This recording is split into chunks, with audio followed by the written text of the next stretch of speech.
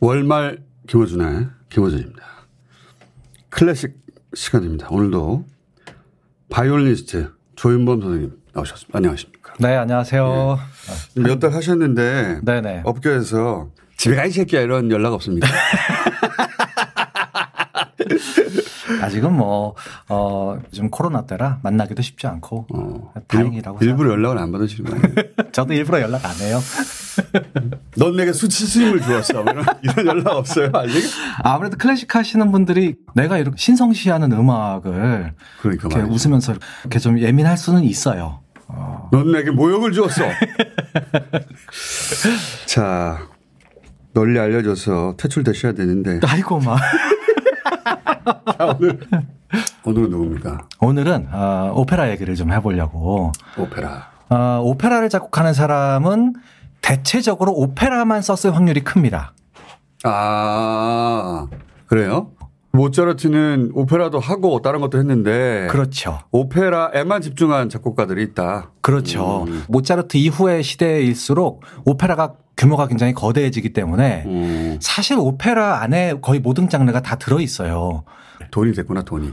어, 돈도 많이 되죠. 음. 오페라가 오늘날의 영화 역할이었으니까. 맞습니다. 네. 뭐 베토벤, 모차르트에게도 이제 후원자들 얘기가 많이 나오잖아요. 음. 그런 후원 별로 필요 없이 내가 직접 극장하고 상대해서 음. 표 수익을 나눠 갖고 이런 기회를 얻으려면 오페라를 써야죠. 아, 그 이전에 음악가들이 이제 맥펀드 이런 거 받았어야 되는데. 저 맥펀드. 아, 요 오페라가 크게 상업적으로 성공하면서 이제 직접 비즈니스에 뛰어들게 되는 거구나. 그렇죠. 아, 오케이. 수익 모델이 네. 나왔어요. 그래서 오페라만 전념한 사람들이 있었는데 그 중에서도 뭐 대표적인 사람이 베르디, 오페라의 왕이라고 불리는 왕이에요. 예, 그 사람을 오페라의 왕이라고 부릅니다.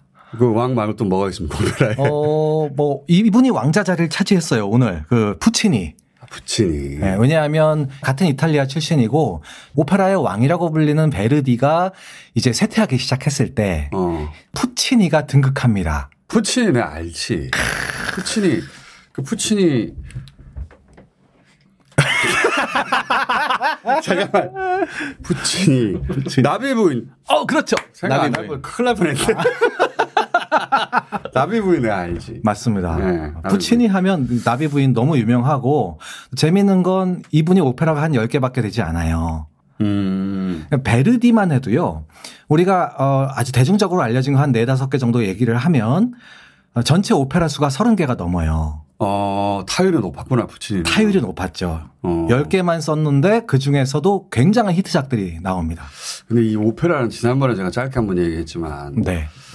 저하고 좀 이게 결이 안 맞아요. 그 남성 판타지란 말이죠. 이게 스토리 라인이. 음. 그 테너 바람둥이야. 응? 떠나. 그- 그 틈새를 바리톤이 어떻게 해보려고 하나 바리톤은 실패해. 성공하는 법이 없어요. 네. 그리고 소프라노는 잊지 못하고 죽는다. 와. 이거 아니에요 스토리가. 맞아요. 뭐 전부 다 그런 건 아니지만 희한하게도 이 사람이 첫 번째 쓴 오페라는 완벽하게 그런 얘기예요. 실제 세계에서는 이거 안 일어나는 일이거든요. 여기서 이제 남자들이 나를 잊지 못하고 저 여자가 그 순애보적인 사랑 이게 현실 세계에는 안 일어나니까 찌질한 남자들이 판타지를 쓰는 거다 이거. 그러네요. 아니 왜냐하면 진짜 이 사람 첫 번째 오페라는 내용이 완전히 똑같아요. 지금 설명하신 그 정도 얘기로 다 알 수가 있어요. 그리고 저는 이제 이 테너 네. 유명한 테너들 보고 있으면은 저거 지방간 상당하겠는데. 지방간. 지방간 파파로티 이런 사람은 지- 지방간 챔피언 아니에요.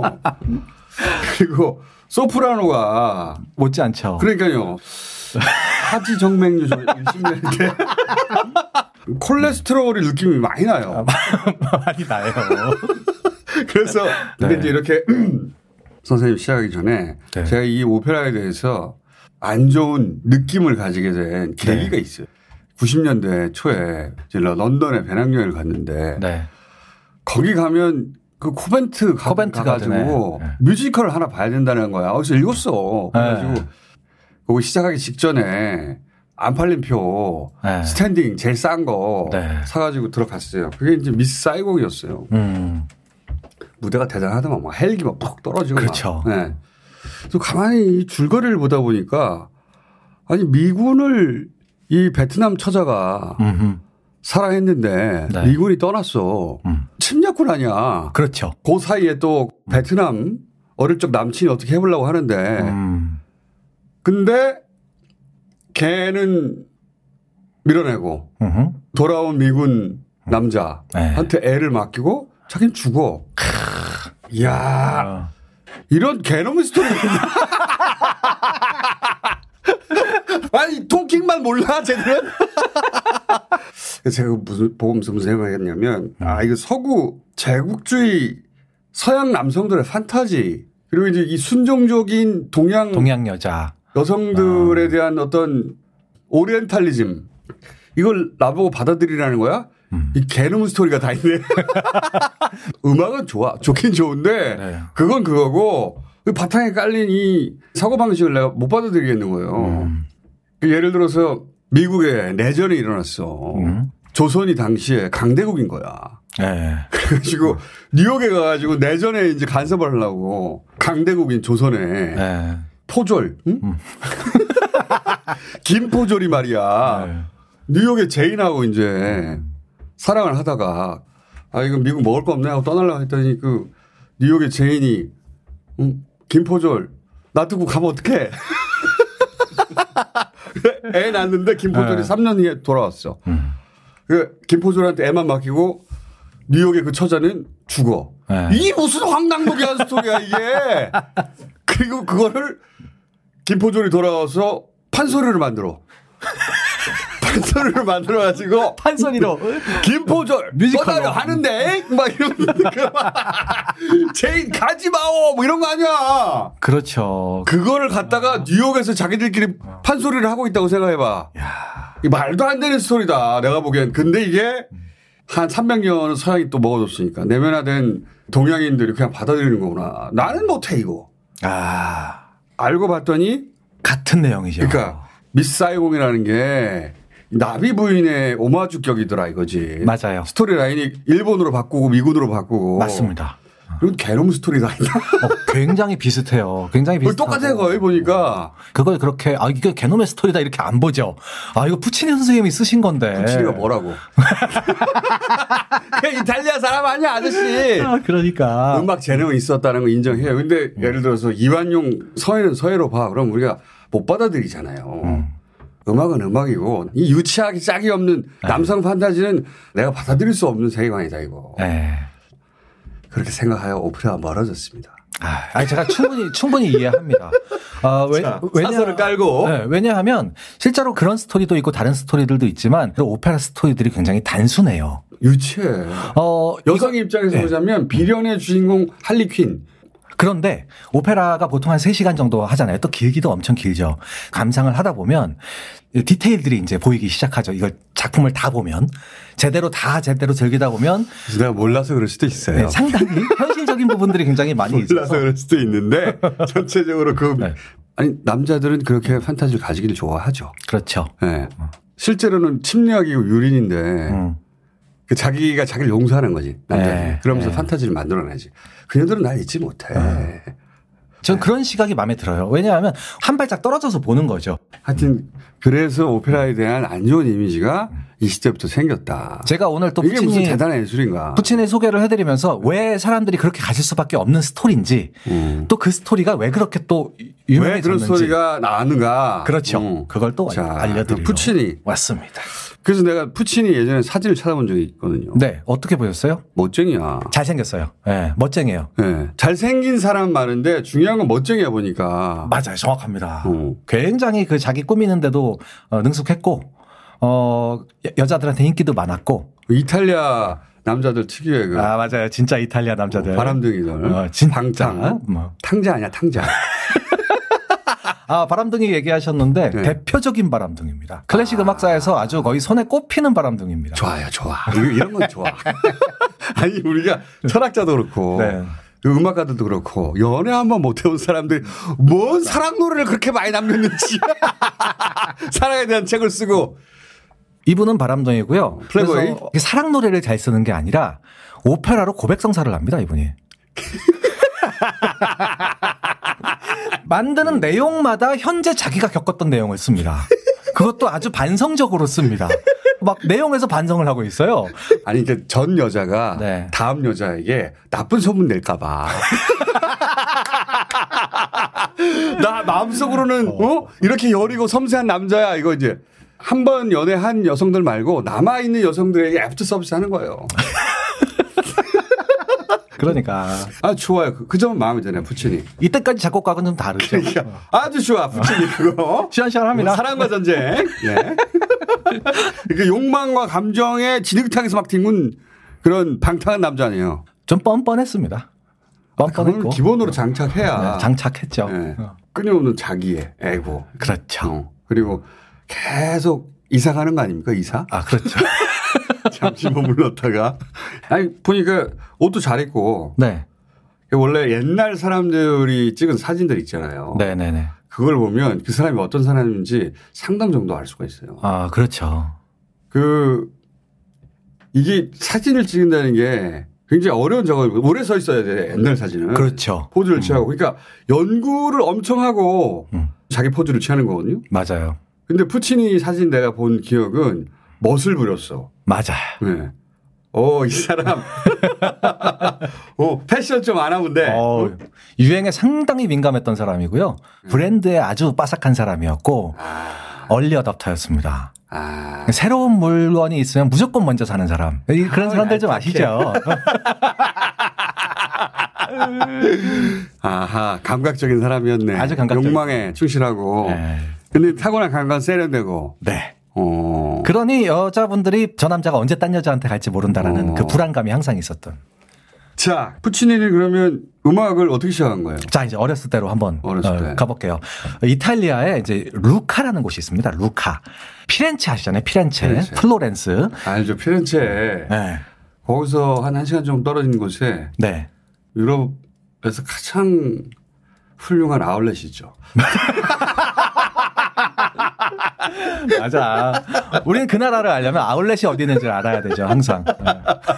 아주 훌륭하죠. 여행자의 기본이죠. 네. 제가 그 아울렛. 나라 아울렛 사무실 가보거든요. 아, 그럼요. 맞아. 아, 피렌체 아울렛이 넘버원이다. 아무튼 그 피렌체. 네. 자, 이탈리아가 길쭉하잖아요. 피렌체가 한 가운데 있단 말이죠. 네. 서해안 쪽으로 가면 루카라는 곳이 있는데 휴양지인데 이탈리아 유명한. 맞아요. 네. 루카라는 어. 곳에서 태어났고 어. 아버지가 어, 음악을 잘하시는 분이었어요. 심지어 작곡도 하셨던 분이었어요. 네. 그런데 아, 아들이 태어난 지 한 5년 만에 급사하십니다. 이제 어머니가 혼자 아이를 키우고 있는데 이 아이가 음악을 굉장히 잘 해요. 심지어 아버지가 근무하던 그 성당에서 후임자 자리를 나중에 아들 자리까지 마련해 놓고 돌아가셨어요. 어. 기본적으로 이제 음악적 재능은 그런 필요 물려받았구나. 그렇죠. 물론 이제 집안이 이제 어려웠기 때문에 아버지도 안 계시고 하기 때문에 이렇게 어려운 집안에서 보통 이제 음악하면 기둥불이 뽑히잖아요. 이제 네. 몇 개 뽑으셨어요? 저도 휘청했죠, 휘청. 악기 값이 보통이 아니잖아요. 근데 비싼 거는 몇 억씩 하잖아요. 어, 몇 억이 뭐예요? 몇십억 하죠. 아, 몇십억짜리도 있어요? 몇십억짜리 합니다. 바이올린은? 세상에서 제일 좋은 바이올린이라고 얘기하는 뭐 스트라디바리우스, 뭐 네. 과르네리우스 이런 악기들 제가 고등학교 때 네. 40억 정도 했었어요. 40억. 한 대. 한 대. 야, 악기 한 번 해야 되겠다. 40억! 사실 그때 그 당시에 40억이니까 지금 얼마인지 그 모르겠어요. 누가 그걸 어떻게 연주해 40억짜리를. 연주자가 자기가 돈 벌어서 살 수가 없는 아- 가격이란 말이죠. 그치. 그러니까 보통 이제 후원자들이 후원해 주거나 빌려 주거나 그래요. 요즘에도 아, 여전히. 여전히 그 애초에 귀족의 자녀 아닌 다음에야. 그렇죠. 재벌의 딸이거나. 네. 아니면 왕가의 아들이거나 아닌 다음에야. 가질 수가 없는 거네. 그럼 그렇죠. 그 실력 너는 이 정도 바이올린을 연주할 수 있는 사람이야라고 후원자가 빌려주는 거예요 말하자면? 그렇죠. 그러다 보니까 세계 최고의 연주자들도 그런 악기를 사질 않아요. 어. 왜냐하면 잘만 하면 후원 받잖아요. 그것도 지금 40을 어떻게 그러니까. 보관해 떨려가지고 그러니까. 집에다가. 그 또 40억짜리 갖고 있으면 또 사고 납니다. 그것도. 그러면 그 밑에 등급은 어떻게 돼요? 밑에 등급은 한도 없, 한도 끝도 없이 내려가긴 하죠. 이제 보통 초보분들이 악기 시작하면은 보통 몇십만 원 주고 악기를 사시는 거예요. 네. 그러다가 이제 어느 전공자가 된다. 그러면 대학에 들어갔어. 대학 들어가면 벌써 몇 천만 원짜리 갖고 들어갑니다. 야 불효자들. 그렇죠. 지들이 몇 천만 원짜리 어떻게 사? 아이 진짜 불효자가 뭔지 아세요? 그래놓고 졸업하고 음악 안 해요. 적어도 직업적인 연주자라면 몇 천만 원대는 기본이고 아, 그럼요. 50만 원짜리하고 네. 500만 원짜리하고 5천만 원짜리하고 5억짜리하고 네.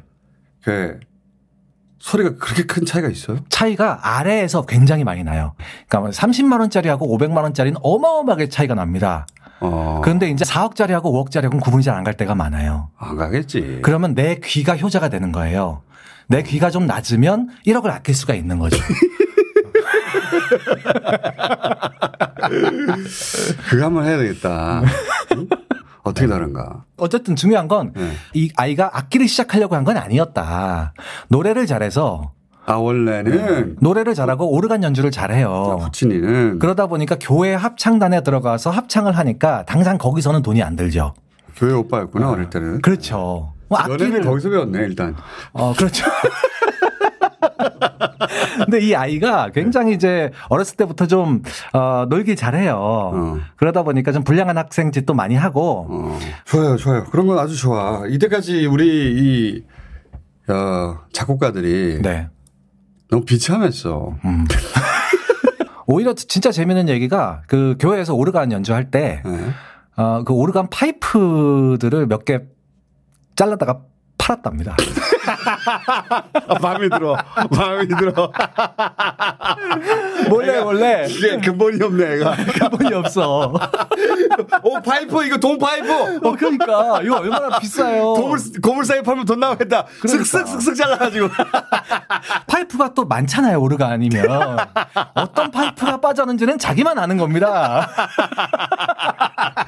그걸 또 이렇게 미화시키는 분들은 푸치니가 음악을 얼마나 잘했으면 자기가 뽑아놓은 파이프 쪽의 건반은 안 눌렀다는 거죠. 정신 좀 차리라고 하세요, 그 평론가들. 돈 많이 나가는 파이프를 판 거야, 그냥. 그러니까. 자, 자, 성격은 타고나기를 네. 자유분방하고 네. 방탕하게 타고났는데 네. 아버지도 없어, 어릴 때부터. 네. 그러다 보니까 누군가 제어하는 사람이 없었구나. 그렇죠. 완전히. 음. 아주 재밌게 사셨습니다. 어렸을 때부터. 어. 그 파이프 썰어서 판 거 말고는 또 없어요? 아, 아, 그러다가 이제 그 비행 친구하고 청소년이잖아요, 비행 청소년. 예. 본드도 했겠는데요? 그런데 재밌는 건 뭐 친구하고 같이 한 4시간 정도 걸어가고요. 예. 피사에 갑니다. 피사. 피사. 피사의 사탑이 아, 있는. 피사 근처구나. 예, 그러니까 그 걸어서 오페라를 보러 가요. 어. 가서 드디어 베르디를 보는 겁니다. 베르디의 아, 오페라를. 어릴 때 베르디의 오페라를 보고 거기 꽂혔구나. 아이다를 딱 보고 나서 아 이거 내가 해야 될 건 이거다. 아, 사람 자체가 기본적으로 감성이 풍성하고 드라마틱했구나. 그러니까 그렇죠. 거기에 꽂히지. 그러다 보니까 나중에 이제 엄마한테 와서 밀라노로 좀 가면 안 되겠습니까라고 얘기해요. 음. 왜냐하면 그 밀라노는 그 당시에 이제 베르디가 본거지예요. 어. 거기에 그 유명한 라스칼라 극장이 있는 거죠. 아. 여기에서 웬만한 오페라들 브로드웨이구나. 브로드웨이가 거기 있는 거죠. 이탈리아에. 그렇습니다. 음. 그런데 밀라노 어, 돈이 많이 들어가요 거기는. 경제 수도이기도 하니까. 그렇습니다. 비싸고. 네. 그래서 가까스로 집에서 모았는데 학비밖에 못 구한 거죠. 네. 생활비가 없는 거예요. 어. 그러다 보니까 되게 이제 생활은 좀 쪼들려요. 이 텍사스 촌놈이 지금 뉴욕 간 거 아니에요, 지금? 예. 그렇죠. 예. 가서 이제 자기 어 자기랑 좀 비슷한 처지의 가난한 친구하고 또 같이 하숙을 하는데 예. 친구가 아주 유명한 곡을 썼습니다. 그거부터 한번 들어볼까요? 저희 저희 될 텐데. 까발레리아 루스티카나 네? 이거 아마 들어보셨을 거예요. 들어봤을까? Pietosa,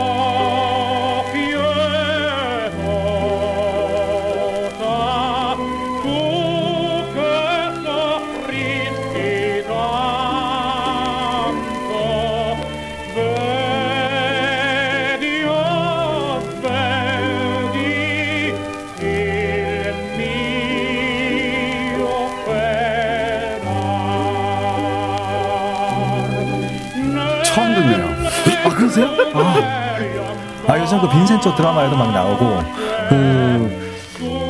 그이 곡 하나가 이 사람을 완전히 대단한 음악가로 만들어 버립니다. 어. 마스칸이라는 사람인데 그 당시에 푸치니와 함께 하숙을 했던 사람이에요.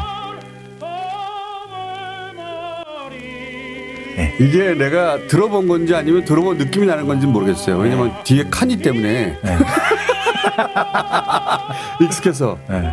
잠깐 기다려봐. 혹시 익숙한 대목이 나올지도 모르잖아. 맨 처음에 시작하는 데가 익숙한 대목이었는데 이미 지나갔어? 지나갔어. 자, 그럼 모르는 걸로. 이게요 그 대부 3편에 마지막에 이 마이클 콜레오네가 탁 죽을 때 나오는 음악이에요. 그 마지막 오페라 씬에 나오는 어... 까발레리아 루스티카나 제목도 엄청 어려워요. 뭐라고요? 까발레리아 루스티카나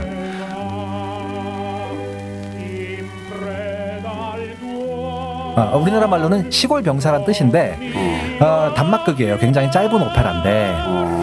이 오페라를 써서 나중에 유명해진 사람인데 푸치니하고 경쟁자가 됩니다. 어... 동기인데. 네, 동기인데 어... 그러나 이제 이 사람은 아, 이 이거 끝부분 알 것 같아. 끝부분. 아 끝났구나. 네. 네. 계속해서 이렇게 좀 어려운 생활을 하면서 밀라노 음악원. 붙이는 소리가 막 나네, 근데. 네? 그 음악 전반에 빈대떡 붙이는 소리가. 어, 오늘 좀 이렇게 빈티지 어, 컨셉, 빈티지 빈티지. 컨셉으로 예. 옛날 녹음들을 좀 구해왔어요. 왜 하숙집 생활 해보셨어요 혹시 그 동기들하고 저는 하숙집 생활 안 해봤죠. 남자들끼리 이렇게 몇 명이서 모여서 네. 공부도 안 하고 맨날 놀러 나가고 뭐 시- 아침에 시험 보러 나가고 뭐 이제 그런 생활이거든요. 나중에 푸치니가 만들어서 굉장히 성공하게 되는 라보엠이라는 오페라가 바로 이런 생활을 그리고 있어요. 라보엠. 라보엠 제목 들어봤지. 라보엠. 크, 제목과 오페라가 연결이 될지 모르겠네. 매치가 잘 안 되긴 합니다. 자, 라보엠. 아무튼 네. 아무튼 그래서 이 밀라노 음악원을 이제 졸업을 하는데 그 가르쳐준 스승님들한테 저 이제 졸업하고 나서 저 오페라 쓸 겁니다 라고 했더니 선생님이 걱정을 하는 거예요. 어, 왜요? 너 가난하잖아.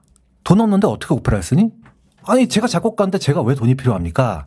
아 네가 잘 몰라서 그러는데 오페라 작곡가는 음. 일단 오페라를 쓸 만한 내용이 있어야 되잖아. 그렇지. 가사가 그- 있어야 되지 또. 대본이 있어야 되니까요. 그러니까 대본. 그 대본의 판권을 네가 사와야 돼. 너 아. 판권 사올 돈도 없잖아. 특히 이 오페라는 음악이 주기 때문에 작곡가가 거의 다 모든 일을 해요, 실제로. 어. 괜찮은 연극을 봤다. 어. 그 대본 쓴 사람 찾아야 되는 거예요. 일단. 저작권이 해결하고 그렇죠. 그거를 이제 다시 대본을 쓰고 거기다 음악을 붙이고 그렇죠. 그- 아, 그 프로듀싱을 혼자 다 해야 됐었구나. 그 작곡가가. 맞습니다. 근데 얘가 작곡을 잘 하니까 선생님께서 음. 야, 저 내가 아는 대본 작가 한 명 있는데 음. 내가 후불로 후불로 하나 구해줄게 대본. 그래서 그 폰타나라는 사람이 여기에 불려와요. 네. 이 스승님하고 알던 사이에요. 그러니까 스승은 적어도 재능은 발견한 거네. 부친이한테서. 그렇죠. 어. 예, 대본 작가 하나 붙여줄 테니까 한번 만들어봐. 네. 여기까지 갔어요. 그래서 이제 처음에 제가 아, 원래 한 300리라 받는데요. 제가 네. 저 100리라만 먼저 받고 어. 나머지 200은 뭐 공연 잘 성공해서 공연하면 네.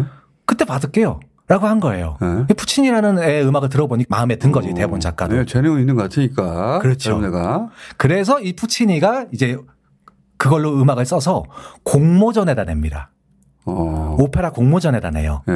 그 당시에 이탈리아에서는 유명한 출판사가 두 개가 있었습니다. 손초뇨, 리코르디 이렇게 두 개의 출판사가 있었는데 공모전을 해요. 그래서 괜찮은 거 이게 있으면 우리가 1등상을 주고 이걸 공연할 기회를 주겠다라고 하는 겁니다. 상금도 주고 방송국 역할을 했네. 방송국 역할을 한 거죠. 네. 폰타나 이 대본 작가는 공모전에다 낸다니까 신이 나가지고 대본을 한 2주 만에 써갖고 줬습니다. 네. 근데 푸치니는 이제 여기서부터 성격 나오는 거죠. 영감이 안 떠올라. 계속 이러다가 어. 결국은 문 닫기 전에 아슬아슬하게 악보 건네주는 거예요. 거의 엉망인 채로 준 거죠. 어, 음악이. 실패했고 첫 번째는. 실패합니다. 그래서 네. 떨어져요. 네. 그랬더니 이 대본 작가가 내가 그 1등상 탄 거 봤더니 야, 네 거보다 아니야. 음. 그래서 자기가 아는 음악계 인사들을 불러갖고요. 자기 집에다가. 어. 이 대본 작가가 피아노를 쳐줘요. 이, 야, 이, 이 푸치니라 내가 이거 쓴 건데 이거 한번 들어보라. 그래서 거기에 모여든 사람들이 아주 유명한 사람들이 많았어요. 어. 그분들이- 그렇게 잔돈 받으려고 한 게 아니라 네. 진짜로 부친이의 재능을 봤다. 본 거죠. 그래갖고 그 중에 한 사람은 야 이거 내가 아는 극장에서 공연할게. 어 듣고 어, 네. 괜찮네 이 친구. 이래버린 거예요. 어. 거기다가 그 라이벌 출판사였던 리코리드라는 출판사에서 어. 악보 출판하고 우리가 판권 가져갈게. 어. 너 우리랑 계약하자. 이래버린 거예요. 어. 근데 그, 푸치니한테 대사건이 일어난 겁니다. 그게 무슨 곡이에요? 요정 빌리라는 오페라였어요. 요정 빌리. 요정 빌리 요즘엔 잘 안 해요 이 오페라를. 네. 왜냐하면요 내용이 뭐냐면 테너가 테너가 소프라노를 버리고 소프라노를 버리고 소프라노는 날 떠난 남자를 잊지 못해서 죽고 그러니까 그 뻔한 스토리. 어. 그 스토리인 거예요, 그게. 어, 그러다 보니까 요즘에는 잘 안 하지만 출판사에서 이게 마음에 들었던 거예요. 그래서 그 출판사에서 전속 계약을 하는데 리코르디라고 하는 출판사가 어떤 데냐 하면 베르디의 음악을 다 출판한 곳입니다, 여기가. 아. 그러니까 자기한테는 완전히 로또가 당첨된 거예요. 어. 너무나도 행복한 거죠. 그 홀로 계신 어머니한테 편지를 보내요. 음. 엄마, 제가 엄마 나 출세했어. 출세했어요. 지금 내가 이 출판사랑 계약한 건 정말 대단한 일입니다. 음. 막 자랑을 해서 편지를 보냅니다. 편지를 받고 어머니가 얼마 후에 돌아가세요. 병으로. 어. 내가 이제 부모님한테 보답할 일은 프로 작곡가가 되는 것이다. 라고 생각하고 이제 본격적으로 어, 연애를 시작합니다.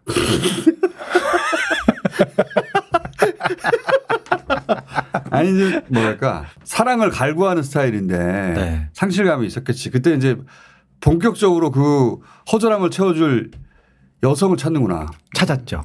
찾아서 어. 이제 아들을 낳았어요.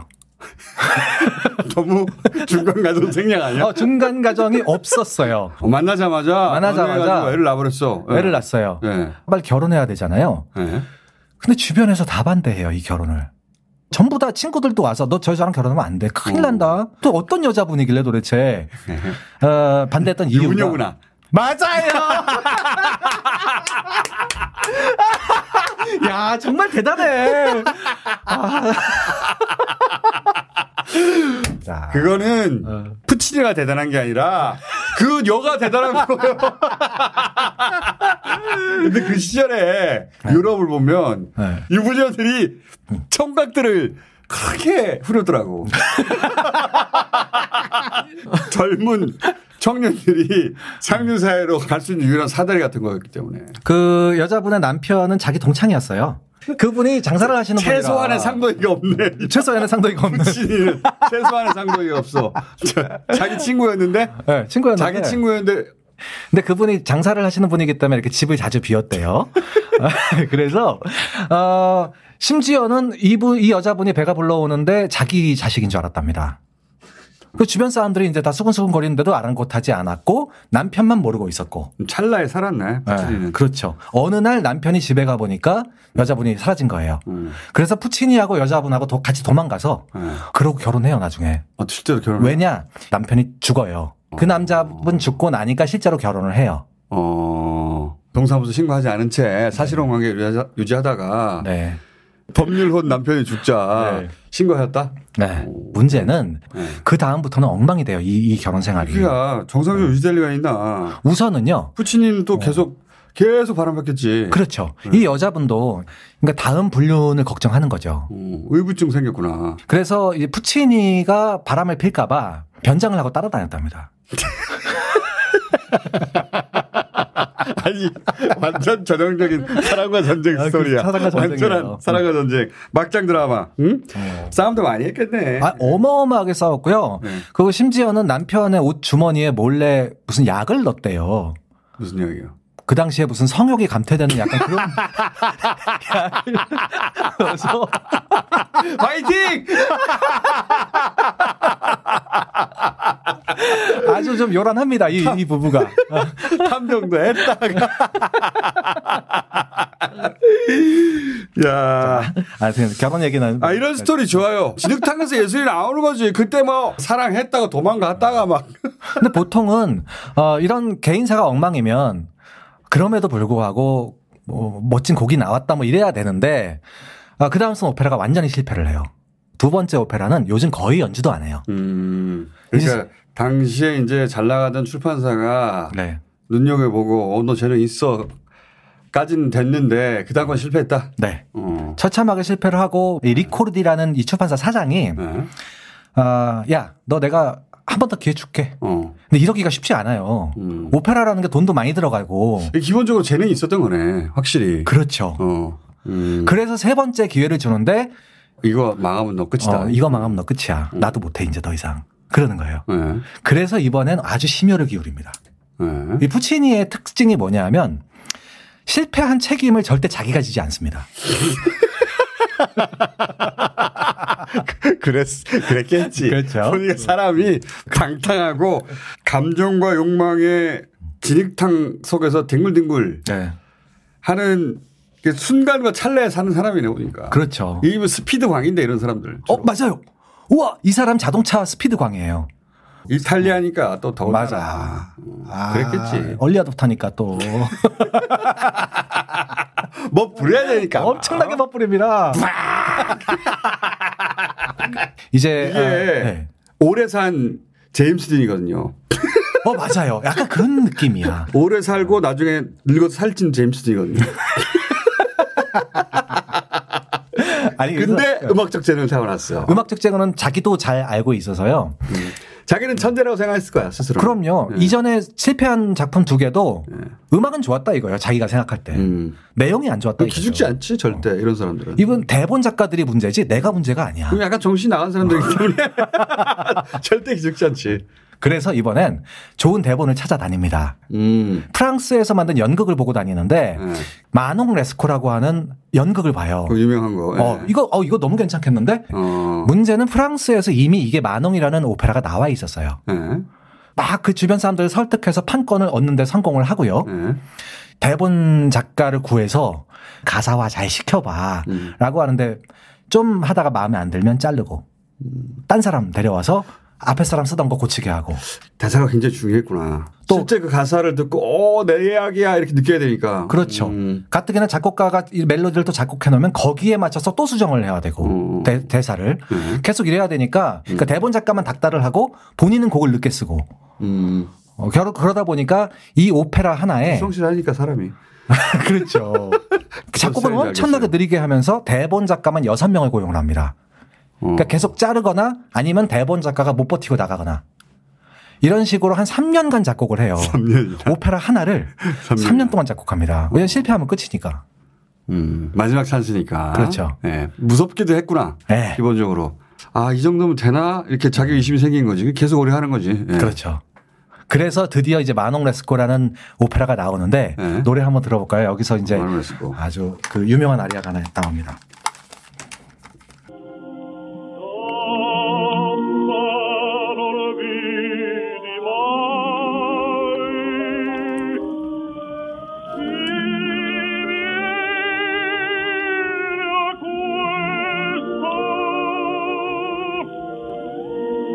테너가 부르는 난생 처음 보는 미녀라는 노래예요.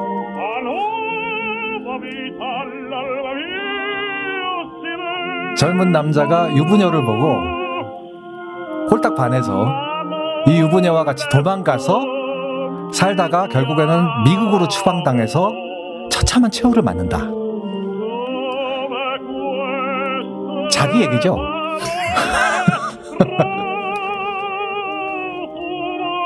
야, 이게 유명하단 말이야?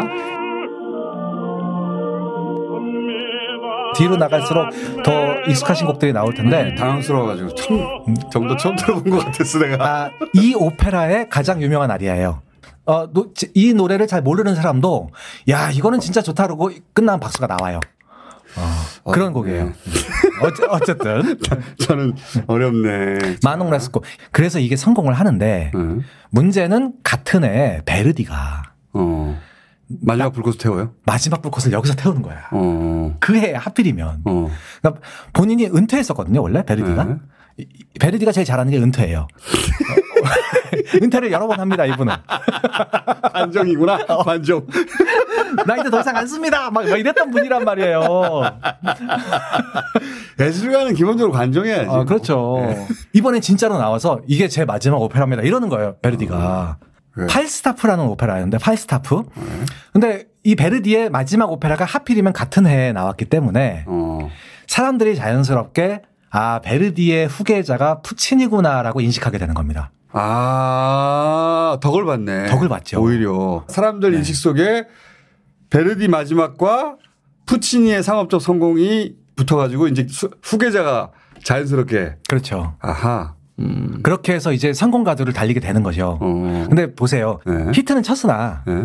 돈 버는 거는 뭐 그동안 이제 투자한 거 걷어가야지. 걷어가야죠. 예. 그러다 보니까 아직. 아직도 돈이 없어요. 친구들이 이제 걱정해요. 왜냐하면 얘가 돈을 많이 써요. 부천이가 한량이거든요, 이분이. 성격상 네. 성격상 얼리 어답터잖아요. 그러니까 막난이 아니야 막난이. 어, 모터보트도 사고요. 어. 뭐 자동차도 사고요. 그러니까 그 당시에 이게 1920년이 아직 안 됐을 때 음.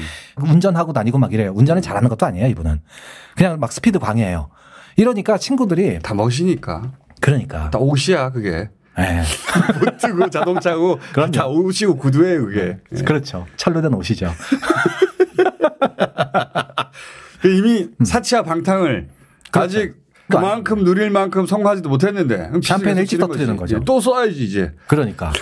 그러니까 친구들이 막 뭐, 뭐라고 해요.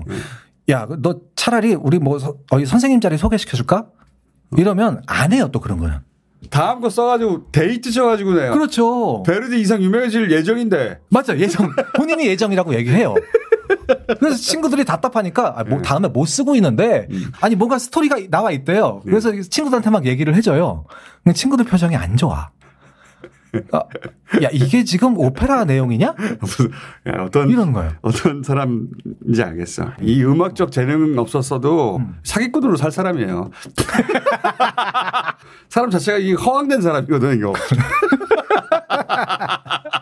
그래서 대본 얘기를 해주는 이런 분들이 거예요. 음악적 재능 없으면 다 이제 사이비 종교 같은 걸로 갑니다. 말도 잘하고 친구들끼리 사이도 좋고. 다단계 쪽으로 가거나 아니면은 도를 하시면 이쪽으로 가게 돼 있어요. 그렇죠. 돈 벌려고. 이제 자기 재주가 음악이니까 맞습니다. 다행이지. 아니 근데 왜 친구들이 실망을 했냐하면 오페라 내용이 보통 뭐 살인, 치정, 복수, 뭐 전설, 신화 뭐 이런 게 나와야 성공을 할 텐데 네. 청춘 드라마인 거예요. 그냥 청춘 드라마. 음. 그것도 얄개 시대 이런 거? 어, 약간 그런 느낌? 얄개 시대. 어, 되게 오랜만에 들어보는데?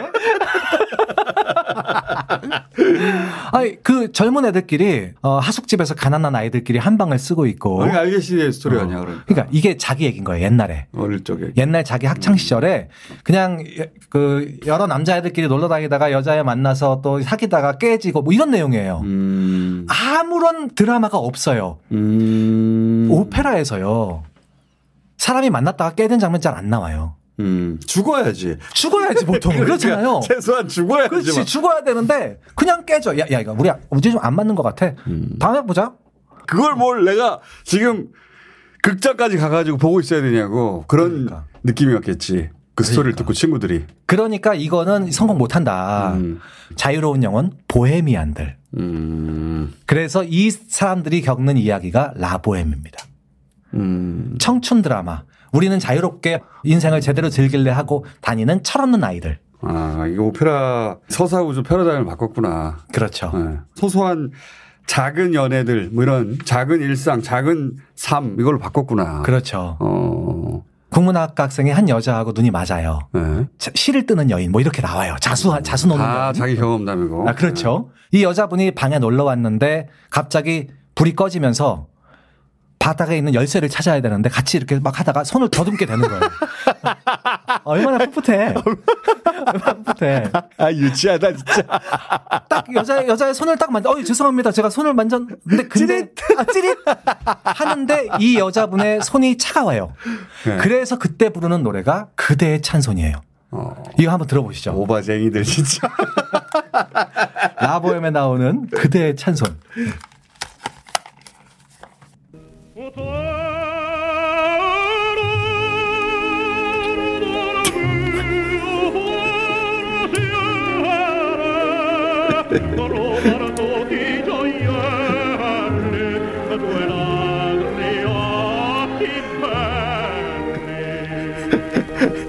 왜 웃기냐면,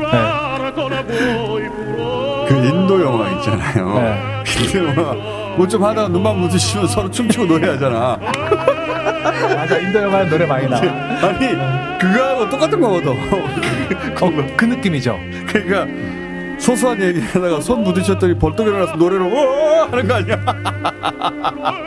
근데 인도 영화 도저히 적응이 안 되거든 나는 보고 있으면. 저도 갑자기 막 춤추고 노래하고. 그러니까 그래서 싹 돌아서 다시 진지한. 근데 전 오페라를 보면 그런 느낌이라는 거예요. 아니 그러니까 손 부딪혀서 마음이 지금 어머 어머 어머 마음이 지금 동 동하는 그 순간 갑자기 남자가 벌떡 일어났더니 우와 그런 거 아니야?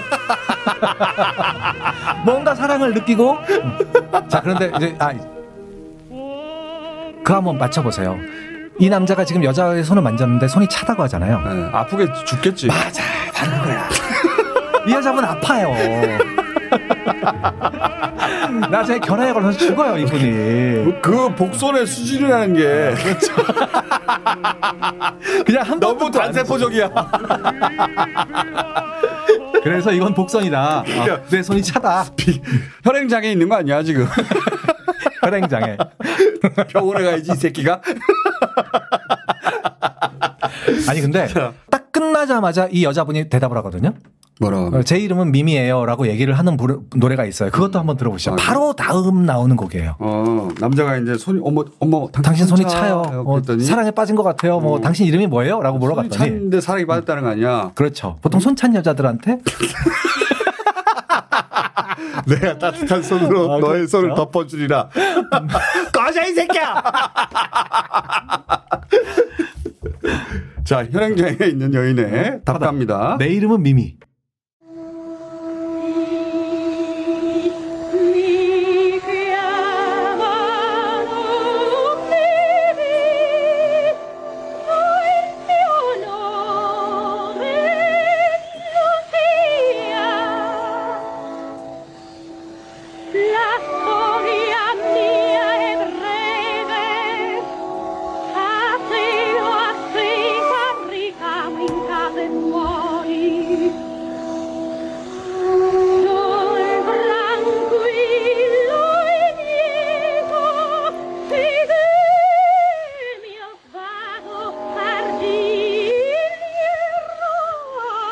어, 내 이름은 미미입니다. 저도 당신의 사랑 그랬어요. 뭐 이런 내용인데 어떻게 손만 부딪혔는데 어디서 둘이 시작질이야 이렇게 했는데 그런데 재미있는 건요. 네. 이 둘이 좀 이따가 마음 안 맞아서 깨져요, 그냥. 아 그 리얼리즘이 들어왔구나. 네, 좀 서로 자꾸 질투 뭐 이렇게 하다가 야, 우리 좀 안 맞는 것 같아. 스토리하네. 이제 여기서 그만하자. 여기 아주 쿨하게. 그 당대 사람들이 반응했다면 그것도 이해가 가요. 음. 항상 극적인 거 보다가 네. 어 이거 내 주변에 있는 이야기인데 이거 당시에 굉장히 히트를 쳐요. 어, 그러니까 히트 쳤다면 그, 이- 그 히트 친 이유는 이해, 이해가 가요. 어, 굉장히 자기들의 얘기고 그러니까 또 일단 음악이 너무너무 좋아요. 아, 오페라의 리얼리즘이 들어온 거 아니야. 이 리얼리즘 오페라는 굉장히 좋은 게요. 음, 의상 비가 안 들어요. 그렇지. 사실주의니까. 평상시 옷 입고 평상시. 옷 입고 어. 해도 그래서 우리나라에서도 이거 되게 굉장히 많이 하고요. 어, 전 세계적으로도 야 많이 출판사가 좋아했겠다. 하는 출판사도 굉장히 좋아요. 제작비 조금 들면서 그렇죠. 아 뭐야. 푸치니 nice 이랬겠네. 응. 이게 나중에 뮤지컬로도 나와요. 렌트라는 뮤지컬이 이 스토리예요. 모르지 저는. 어, 예, 하여튼 그런 게 있습니다. 자, 아무튼 섬세한 감성을 타고난 사람이긴 맞네. 맞아요. 예. 그래서 이런 이런 라보엠이 나중에 굉장히 히트를 치니까 이거 아주 유명한 지휘자가 이걸 지휘를 하게 되는데 토스카니니라는 지휘자가 아 토스카니니 알지. 어, 들어보셨어요? 이름은 들어봤지 제가. 이 당시에 푸치니 시대에 작곡가들과 활동했던 지휘자로 아주 전설적인 거예요. 지휘를 하고 푸치니하고 친구 사이가 돼요. 어, 야, 너 잘한다, 야, 이러면서 네. 서로. 나중에 1차 대전이 일어났을 때 이제 정치관이 달라서 깨져요. 둘이. 토스카니는 아주 애국자, 난 전쟁에 참가해야 돼, 뭐 이런 사람이었고, 푸치니는 전쟁에 관심이 없었고, 음, 어, 그러다 보니까 나중에는 굉장히 안 좋은 사이가 됩니다. 그거는 또 서로 음. 받아들일 수가 없지. 그렇죠. 이제 마농 레스코도 성공을 했고 라보엠도 성공을 하고 이제 그 다음 작품이 진짜 제대로 된 것이 나오는데 네. 오페라에서 사실 제일 많은 내용이 어떤 내용이냐면요. 보통 두 가지예요. 하나는 어, 노래 경연 대회에 참가를 해서 내가 1등상을 타면 주최자의 딸과 결혼해야지 뭐 이런 내용이 굉장히 많아요. 오페라에는 미친 새끼들. 그런 내용이 많고 네. 또 한 쪽의 부류는 토스카 007 영화에 네. Quantum of Solace에 토스카라는 장면이 나오는데 굉장히 잔인한 오페라예요. 내용이 뭐예요? 어, 나쁜 탐관오리가 나쁜 상황이가. 탐관오리가 남자친구를 잡아놓고 나서 네. 어, 너 나랑 오늘 하룻밤 자면 어. 저 남자 살려줄게. 그러니까 이 여자분이 내 남자를 살리려면 남자를 배신해야 되고 네. 배신을 안 하자니 내 남자가 죽을 것 같고 그 상황에서 부르는 노래가 하나 있어요. 노래에 살고 사랑에 살고라는 노래가 있습니다.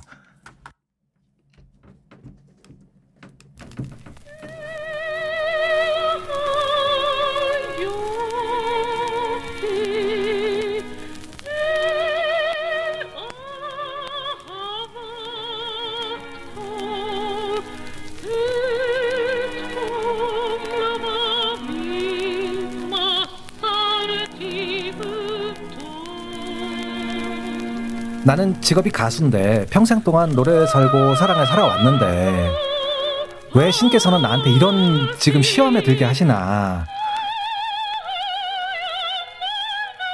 근데 이렇게 아름다운 노래를 부른 다음에 어, 물어봐요. 그래서 내 남자친구를 살려준다는 걸 어떻게 보장할 겁니까? 음. 그랬더니 이 나쁜 놈이 자기 부관을 불러요. 음. 야저 좀 이따 그 처형당하는 애 있잖아. 음. 그 옛날에 누구처럼 해?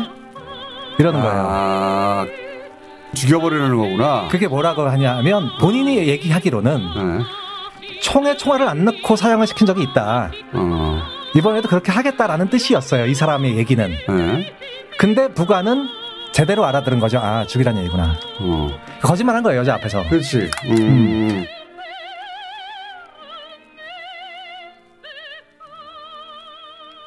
여자분이 알겠습니다. 라고 하고 칼로 찔러 죽여버려요 그 자리에. 잘했어. 딱 찔러 죽여요. 그럴 줄 알았어. 그렇죠. 음. 어, 뛰어가죠 여자는. 남자를 걸어 뛰어가죠. 왜냐하면 이제 총에 총알이 없다니까 같이 도망가야지라고 생각을 한 거예요. 아니 그렇게 안 되지. 그러면 안 되지. 이 총을 쏠려고 하는 애들 목을 따야지. 아니 이, 이 여자분이 알기로는 총알이 안 들어있다고 하니. 기왕 어차피 귀족도 죽였는데 그렇지. 안 졸리나 졸리 되는데 이미. 한편 형장이 이슬로 사라지기 전에 이 남자가 남자가 자기 사랑하는 여인도 못 보고 죽는구나라고 하면서 마지막 부르는 노래가 있어요. 그게 또 유명해요. 별은 빛나건만. 남자가 그냥 아무 저항도 못하고 자기는 죽을 줄 알고 있는 거죠. 뭐라도 해야지.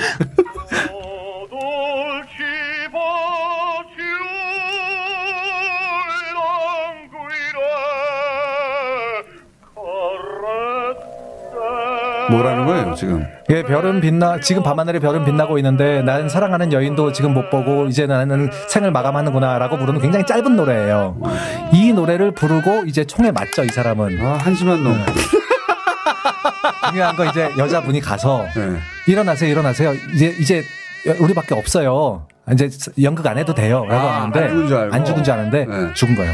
음. 남자가 죽은 걸 알고 이제 여자가 갑자기 분노하여 분노한 거죠. 분노하여 분노하는데 목을 다 따고 야, 그래야 되는데 이미 이제 무기 든 군인들이 왔죠. 네. 너 이제 총독 살해범이다 이러고 하면서 와- 쫓아왔어요. 이 여자는 화가 나갖고 막 소리를 지르면서 성벽 위로 뛰어 올라가서 거기서 뛰어내려서 자살을 해요. 아니 그럼 안 되지. 이 여자분의 이름이 토스카인 거예요. 자살하는 척하면서 물에 뛰어들어서 잠수하여 밖으로 나온 다음에 군대를 길러 다시 돌아와야지. 아니야, 자, 자살해요, 자살해. 오페라 무대에서 이 성벽 위에서 뛰어내리는 장면이 마지막 장면이잖아요. 이게 사고가 많이 나요, 이 오페라가. 아, 그 무대 위에서 무대 위에서 사고가 난다고. 뛰어내리다가 밑에 스폰지가 꺼진다든가 그런 거. 그러니까. 아 무대 장치가 무대 장치 안 때문에. 굉장히 위험한 오페라. 가뜩이나 마지막까지 그 노래를 불살랐던 분이 흥분 상태에서 뛰어내리기 때문에 아 이 매트에 정확하게 안 뛰어내리고. 딴 데로 뛰어내리거나 아 어떤 분은 그 안전장치 때문에 내 뛰어내려갔다가 다시 올라왔대요. 튕겨가지고. 튕겨가지고. 저 너무 스프링이야. 야 거기서부터 2탄. 다시 하나 트럭. 다시 올라가가지고 군인들 다 죽여버리고. 그러면 속편이 나오는 건데. 그럼 재밌겠다. 그러니까 안 죽고. 내가 그 시대에 살았으면 난 그렇게 만들었을 거야. 뽕다시 튀어나와가지고 가슴에 S 딱 그리고 하얀 소복만 입고 하늘을 막 날아다니면서 그러니까. 이 유명한 성악가들이 굉장히 무서워하는 오페라가 이거예요. 그래서 아, 마지막에 위험하다고. 마지막에 위험하니까 어. 안전장치 잘 보고 뛰어내려야 되는 그런. 리허설 여러 번 해봐야 되겠네. 그렇죠. 튀어서 올라가기도 하고. 그거 야 재밌겠는데 그거. 이다 틀려. 오페라가 그래서 별명이 피에 토스카예요. 피에 토스카. 아, 피가 많이 난다고. 내가 이 푸치니와 같은 시대에 살았- 살았으면 토스카 2 내가 쓴다. 짝퉁 토스카 2 한편 튀어 올라온 그녀는 아니 정말 좋은 건요. 그 하필이면 튕겨 올라오는 그 공연에 계셨던 관객분들이죠. 야, 그치. 똑같은 돈 주고 내 그런 거를. 튕겨 올라온다. 근데 오페라 가수들이 굉장히 고, 생 많이 해요. 실제로 어떤 분들은 뭐 노- 니- 누워서 노래를 부르는 장면도 많고 연기를 하면서 그런 어려운 노래 부르기가 쉽지가 않다 그러더라고요. 그 고충까지는 알고 싶잖아요. 이 오페라는 그래서 잔인하기로 유명한 오페라라 그 당시에 이제 굉장히 좀 잔인해서 못 보겠다라는 오- 사람들도 많았다. 아. 아, 토스카. 음. 잔인하다. 여자한테 어떻게 저럴 수가 있냐. 막 이- 이런 오페라가 처음이었던 거예요. 음, 어, 지금 좀 끔찍한 오페라로 알려져 있습니다. 하나도 안 끔찍하고. 그 당시엔 끔찍했대요. 끔찍했대요. 일단 이 결말에 마음에 안 들어. 뛰어 내렸는데 밑에 이제 물팍 들어가가지고 반쪽으로 쫙 올라가가지고 머리 쫙 넘기고 다 죽었어 이 새끼들. 아, 어쨌든 이때쯤에 돈을 많이 벌었대요. 요트가 몇 개씩 돼 갖고 지금 이 상황에서는 어, 첫 번째 요트에다가 이름을 미미라고 짓고요. 그러니까 오페라 주인공도 이름을 막 다 갖다 붙이고 있고요. 그 마을에서 전화를 제일 일찍 개통을 합니다. 음, 어, 부친이가 어떤 사람인지 알겠어요. 네. 과시하게 좋아하고. 그렇죠. 예. 그 자동 재능은 있고. 자동차도 속도 강이라서 계속해서 이제 빠르게 운전을 하고 다니다가 사고도 많이 나요. 음. 그 나중에는 다리를 평생 절 정도로 음. 사고가 크게 납니다. 사실 그때 사고 내기 어려웠을 텐데 뭐 아무것도 없었을 텐데 아무것도 없었는데. 그러니까 가서 벽을 바꿔 뭐 그랬다고 하더라고요. 거지. 예. 교통 교통 사고라기보다 자기가 사고를 낸 거지 그냥. 그렇죠. 예. 이 출판사하고 굉장히 사이가 안 좋아지는 오페라가 하나 나와요. 뭐? 그게 바로 나비 부인입니다. 아, 나비 부인은 우선 일본에 관한 내용이죠. 그 나가사키라고 네. 일본이 제일 먼저 개항했던 항 네. 거기를 배경으로 한 스토리더만요. 그렇죠. 예. 거기다가 이제 그 미스 아이공이 원조 아니에요 이게 스토리가. 미스 사이공이 푸치니의 작품을 따라 만든 거죠. 그렇지. 근데 이제 나는 이게 이해가 안 가. 그 일본에서 인기라고 내가 알고 있거든요. 네. 서양에서 유명한 작곡가가 일본을 소재로 만들었기 때문에 굉장히 고마워하고 있는 거예요, 일본이. 아니 생각해봐요. 그러니까 그게 내가 오리엔탈리즘의 내면화라고 하는 거야. 이거를 미군을 몽골로 바꿔봐. 네. 여자를 고려인으로 바꿔봐. 그럼 우리는 삼별초 이렇게 돼야지. 갑자기 몽골에서 응? 고려 여인을 어쩌고저쩌고 이런 스토리가 나왔다고 해서 받아들이겠어요 이걸? 그러니까. 말도 안 되지. 서양 그게 미국인이니까 동양이 받아들인 거거든요. 네. 이런 스토리를 미국인이 한국의 동두천 상대로 만들었다면 음. 게이샤 아니에요 게이샤. 그렇죠. 그랬다면 우리는 이거 안 받아들여요. 맞아요. 어. 그 음악이 아무리 멋져도 음. 악그 자체를 멋진 건 멋진 것이고 환호하고 그러지 않을 텐데 일본에서는 이걸 환호하더라고. 난 그 멘탈이 나 이해가 안 가. 그렇죠. 미군이 와서 게이샤와 결혼을 했고 네. 아들을 낳은 상태로 이 사람은 본국으로 가요. 결혼을 한 게 아니라 잠시 논 거거든. 잠시 논 거죠. 예. 그리고 본국으로 가면서 자기는 돌아오겠다고 얘기를 하지만 안 돌아오는 결혼하잖아 가가지고. 그렇죠. 예. 근데 나중에 진짜로 와요, 이 사람이. 본차하고 같이 온 거예요. 심지어 네. 와서 요구를 해요. 자식 내놓으라고. 그렇죠. 어. 그러니까 자기 사랑하는 난군이 다시 오- 와서 자기랑 결혼을 할 줄 알고만 기다렸는데 와서 자기 애까지 뺏어가겠다고 얘기를 하니까. 거기까지는 있을 수 있어요. 거기까지는 있을 수 있는데 음, 그 나쁜 새끼 아니야 한마디로. 그렇죠. 예? 전 세계 개놈 새끼는 다 있기 때문에 그럴 수 있는데 여기서 이 여인의 대처 음. 자식을 미국으로 보내고 자기는 자결해. 뭐야 이게 목을 따야지.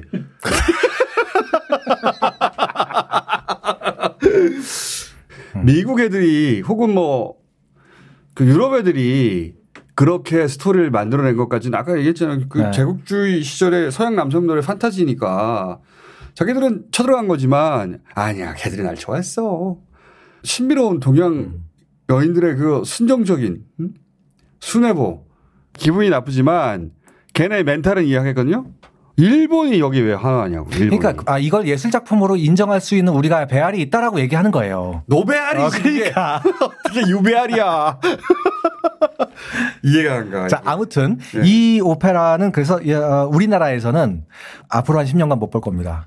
그 전에도 네. 이 나비 부인은 공연을 할 때마다 문제가 됐었어요. 무대에서 그것도 우리나라 사람이 게이샤 역할을 하면서 이건 못 빠지겠다는 인식이 많은 거예요. 미군한테 애를 주고 자기는 자기라도 죽고 이게 뭐야 이게 그러니까. 어? 그래서- 아무리 음악이 좋다 한들 이게 어느 순간 몰입이 안 되잖아요.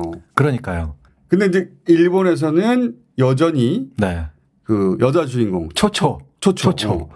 그 누구나 초초 역을 하고 싶어 한다. 오페라 음, 가수가 되면 맞아요. 그 멘탈 이해가 가. 아니 그것도 조금 이상한 부분이 있는 게요.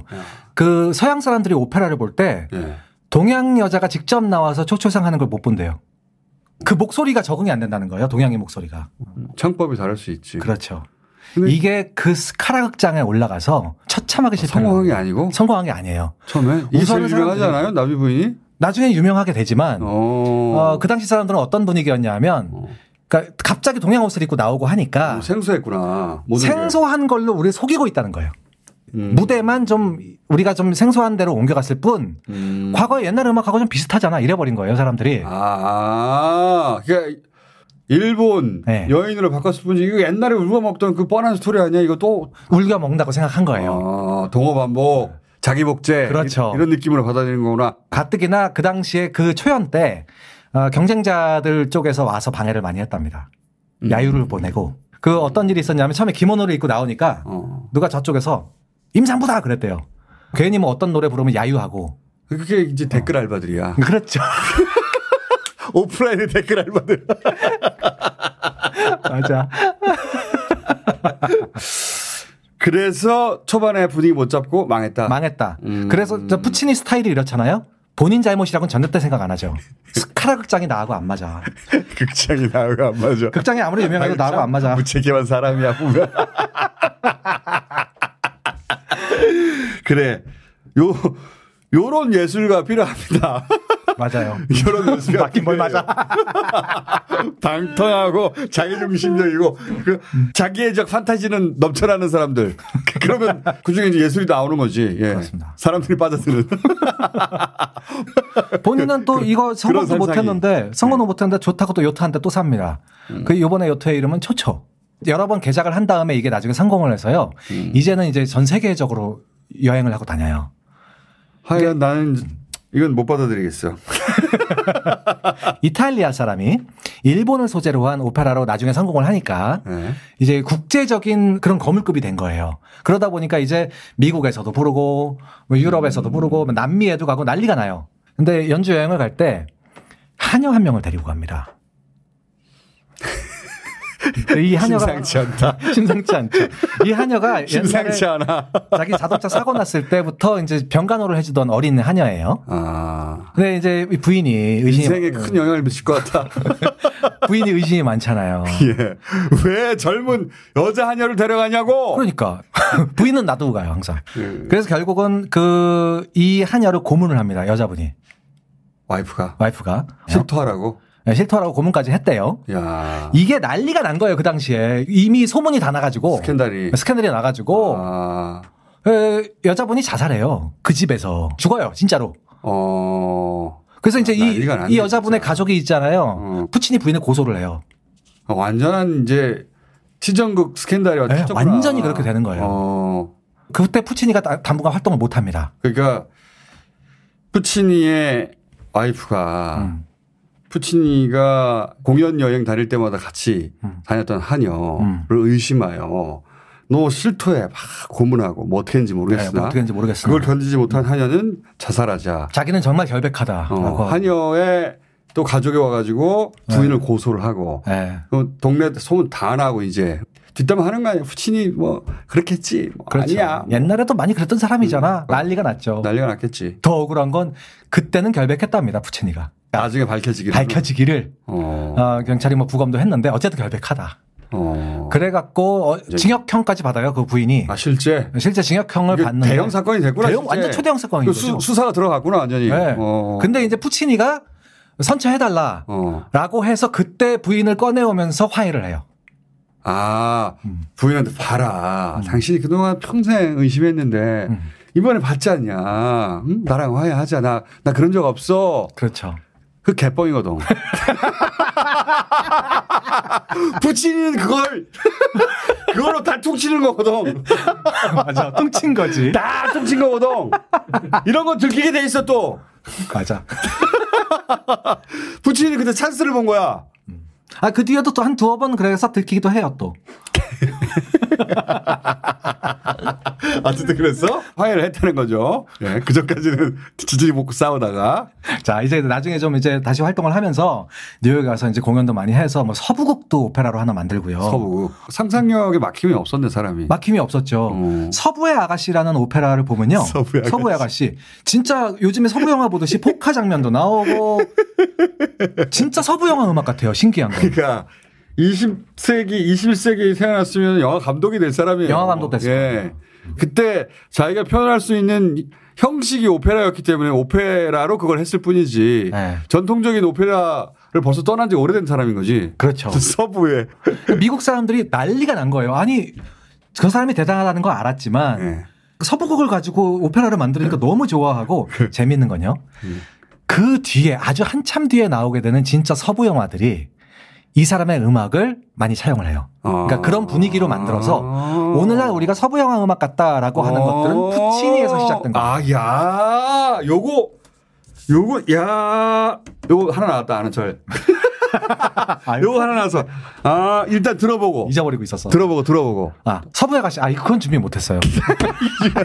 그러면 예를 들어서 어떤 리듬이요? 예를, 예를, 황야의 7인 예. 뭐 이런 거. 짜잔! 뭐 이런 거? 그리고 막 중간에 사람들이 막 술 취해서 부르는 노래 이런 것도 어. 진짜로 그 당시에 그러니까 그 오페라를 딱 보면 그런 음악들이 들려요. 어, 웨스턴 마, 마카로니. 그런 느낌인 거죠. 마카로니 웨스턴 같은 어. 느낌인 거죠. 까- 어, 서부 영화에 깔리는 음악, 그 음악의 원조가 푸치니예요? 푸치니이기도 하고요. 어, 야. 심지어 다른 영화 음악들도 푸치니의 음악이 굉장히 영향을 많이 받는 그런 시대입니다. 그러니까 아 오페라에서 영화로 넘어가던 그 시기에 네. 푸치니의 오페라 영향을 받아서 나중에 영화 음악이 영화 음악이 탄생한 거구나. 그래서 우리가 푸치니의 음악을 들으면 영화 음악 같다라고 느끼는 거예요. 아, 진짜 유명한 거 하나 들려드릴게요. 이건 무조건 누구나 아는 곡.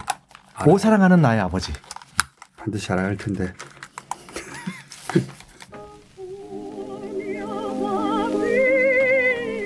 아, 들어봤어. 다행이다.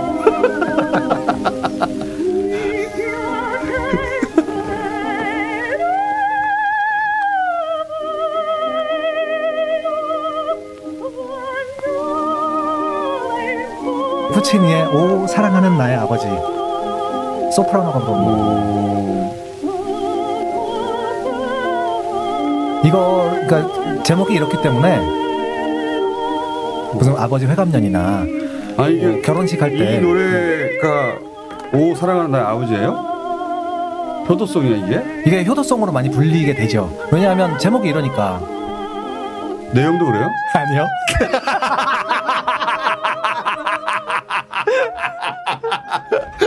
이거는 아 근데 내용이 어떻게? 내용이? 내용이 뭐냐면 오 사랑하는 나의 아버지. 보통 오페라의 노래는요. 네. 이첫 부분의 가사를 제목으로 삼습니다. 어. 제목이 따로 없기 때문에 아 제목이 이러니까 어차피 이탈리아어 모르니까 그 나머지 다 효도송인 줄 알고 있으나 소송인 줄 알고 있으나 아, 오 사랑하는 나의 아버지 제가 원하는 사람과 결혼시켜주지 않으면 강물로 뛰어가서 빠져 죽겠어요 라고 하는 협박송입니다. 협박송. 이걸 어, 결혼식 때 아버지한테 노래를 부르고 회감년에서 축하송이라고 부르고 어머 노래 좋다 그러면서 듣는 거지 그 옆에 저기 성악하는 사람도 불러가지고 그렇죠. 음. 성악하는 사람들은 다 알잖아 근데 다 알죠. 나쁜 사람들이네 자기들 알면서 그렇죠. 그, 그 결혼식 양치 있는데 강물에 빠져 죽을 거예요 막 노래 부르는 거 아니야 그, 그러니까요. 아, 참네 동시 상영 오페라가 있어요. 이 사람의 동시상영. 그러니까 짧은 오페라 세 개로 이루어져 있고 옴니버스로 옴니버스예요. 그래서 이 오페라의 제목이 3부작이에요. 어, 형식도 파괴했네 형식도 파괴하고 어. 이거 코미디 오페라하고 그 유산 싸움의 코미디 같은 거 그런 영화를 되게 어, 많잖아요. 그런 거. 오페라네 그렇죠. 아버지한테 어, 저 옆집의 유산 문제를 도와주지 않으면 저집 아들 좋아하는데 결혼을 못 해요, 제가. 그러니까 제발 좀 도와주세요. 원래 우리 집안 사이 나쁜 거 알지만 좀 도와주세요. 음. 라고 하고 아버지한테 협박을 하면서 부르는 노래이기 때문에 이 노래가 끝나면 음. 박수가 안 나와요.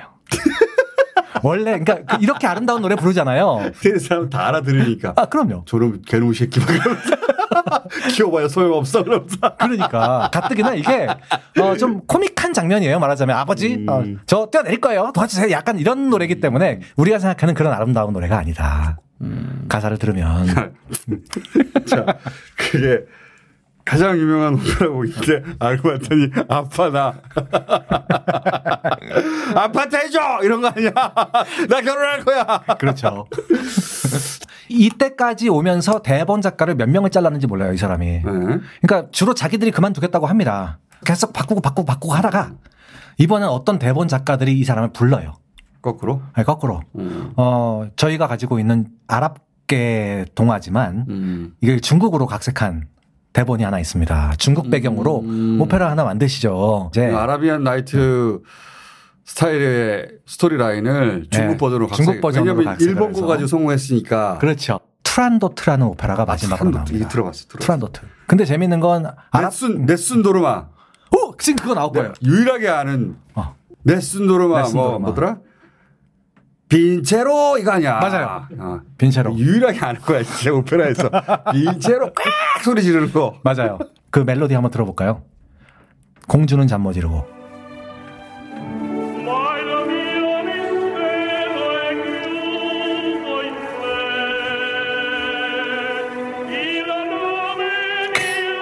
노래는 참 좋아. 아 이거 진짜 좋아요. 응.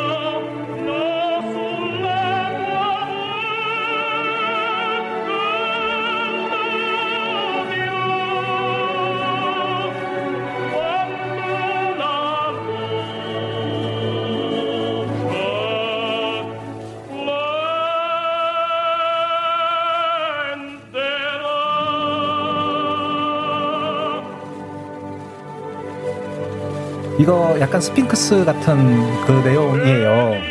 나 이거는 내용을 좀 알아요. 어, 이 이거 하도 인상적이어가지고 이게 네. 파바로티하고 뭐 3대 테너 누구야 그거. 도밍고. 도밍고하고 카레라스. 그 카레라스 세 명. 네. 가지고 그 여고 막 나눠서 부르고 그런 거 맞아요. 유명한.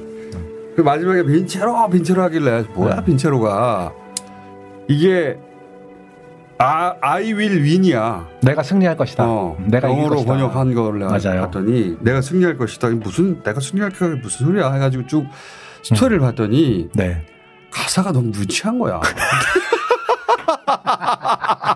스토리를 완전 기괴해 보니까 기괴한 스토리이긴 하죠. 맞아요. 공주가 퀴즈 내 가지고 맞춘 사람하고 결혼하겠다는 거 아니에요. 못 맞추면 죽여버리고. 네. 일단 거기서부터 사이코패스지. 그렇죠.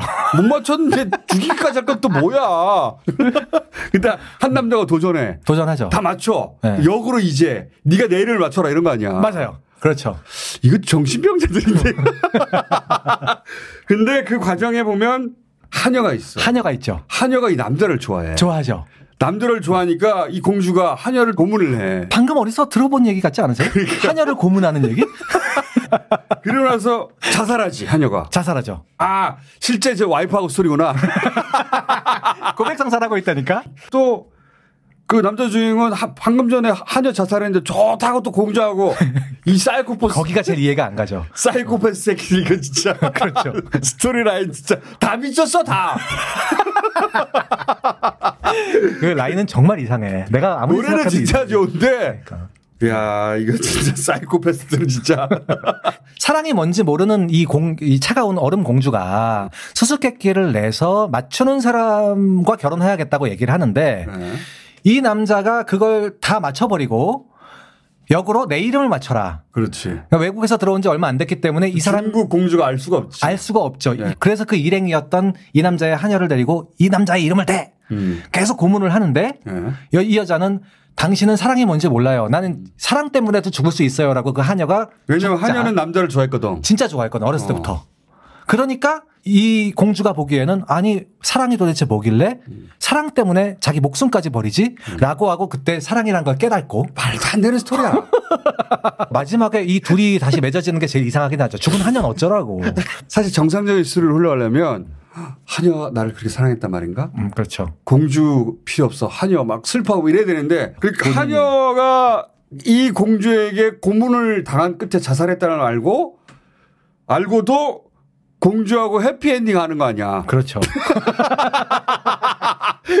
너무 해피해. 그 차가운 공주는 또 뭐야 얘는 또 자기 퀴즈 못 맞추면 목다 따버리고 나는 거를 차곡차곡 쌓아놓고 시체들 어, 이게 뭐야 이게 스토리가 그러니까 제일 이게 이해가 안, 호러지, 이게. 제일 이해가 안 가는 장면이 하녀가 죽고 나서 이 남자가 갑자기 화가 나서 당신은 인정도 없는 사람입니다. 하녀가 이렇게 자, 살았잖아요. 당신은 사랑이 뭔지 알아야 돼요라고 하면서 키스를 한다고요. 사이코패스라니까 남자 여자 둘다 사이코패스예요 그러니까 공주는 또 키스를 당한 다음에 어 이건 무슨 감정이지? 이게 사랑인가? 얘네들은 결혼한 다음에 아주 살인마가 부부가 될 가능성이 높아요 얘네들은 이 다음 호러가 나올 수 있어요 참. 아, 특이한 거 아니야. 투란도트 투란도트 이게요 원래 아랍계 스토리라고 했잖아요. 이름을 그대로 가져온 거예요. 중국인데 중국 이름이 아니라 아랍 이름을 쓴 거야 투란도트. 아, 아, 그래서 이름들이 이런 거구나. 공주가 다른 사람들은 중국 이름들이 좀 많아요. 뭐 핑도 있고 팡도 있고 뭐 이런데 공 정작 주인공 이름이 아랍 이름이다. 네, 투란도트. 투란도트. 이게 미완성된 오페라입니다. 아, 그래요? 합창 쫙 끝나면서 끝나거든요. 음. 이거는 뒤에 다른 사람들이 쓴 거예요. 아, 빈체로는? 후배 작곡가들이 쓴 거고요. 그 빈체로 있잖아요. 네. 스케치를 많이 남겼어요. 아, 이런 식으로 해야 한다. 네. 흘러가야 된다. 그 빈체로라는 노래 그 노래가 마지막에 합창으로 쫙 다시 그렇지. 나오거든요. 이런 거는 그 앞에 곡을 토대로 어. 토대로 쭉 다시 쓴 거예요. 후두염 같은 거가 있었는데 어 어디 가서 나중에 또 밥 먹다가 이 목에 가시가 걸립니다. 결국 그것 때문에 못 일어나고 죽는 거예요, 이 사람이. 옛날 사람들 참 허무하게 준 사람들 많아요. 허무하게 허무하게 산 죽었어요. 먹다가 목에 가시 걸려가지고 그 상처가 도져가지고 상처가 도져가지고. 어, 요즘 의, 의학 기준으로서는 죽기 힘든 일로 많이 죽었더라고 보니까. 그렇죠. 그 하이녀가 죽는 장면까지 써, 써놓고 이제 쓰러진 거예요. 그런 상황에서 이제 스카라 극장 사람들이 온 거예요. 음. 그러니까 옛날에 선생님 저 저희 나비 부인 실패한 다음에 그 저희 극장 책임이라고 생각하셔서 한 번도 안 하시지 않았습니까? 음. 마지막 작품 같은데 음. 뭐 이거라도 저희한테 좀 공연하시죠. 라고 얘기를 하고 어느 정도 타협을 하다가 죽은 거예요. 그리고 나서 마지막에 토스카니니가 지휘를 하면서 그러니까 2년 뒤에 음. 그 한여가 죽는 장면까지 딱 공연을 하고 나서 멈추고 아 여기까지가 여기까지가 여기까지가 푸치니가 한 곡이고 푸치니. 선생님이 작곡하신 부분이다라고까지 음. 하는데 거기서부터 벌써 다 울었대요 사람들이. 음. 그리고 돌아서서 마지막 제자들이 완성한 근데 그 뒷부분이 더 좋잖아. 부분이 너무 멋있지. 뒷부분이 빈 채로 여기가 더 좋아. 아, 아니 근데 이게 그 작곡가들이 너무 뭔가 많이 써왔대요 뒤에. 어, 그랬더니 야 이건 푸치니 게 아니잖아. 어. 줄여. 토스카니니가 토스카니니가 야 이거 푸치니 스타일 아니야? 네. 이런 식으로 쳐냈다. 그런 식으로 천에서 좀 짧게 만들고 마지막에 공연을 했다는 거예요. 토스카니니가 원래 뭐 사이가 굉장히 중간에 안 좋아서 서로 막 싸웠거든요. 이 둘이. 아니 그러니까 이 제가 보기에는 이 푸치니 성격상으로는 자기한테 불리하면 다 싸우고 책임을 떠넘기고 욕하고 삐졌다가 네, 다시 또 그렇죠. 화해하고 그런 스타일이다 보니까 미워하기는 어려운 남자였겠네. 음, 그렇죠. 음.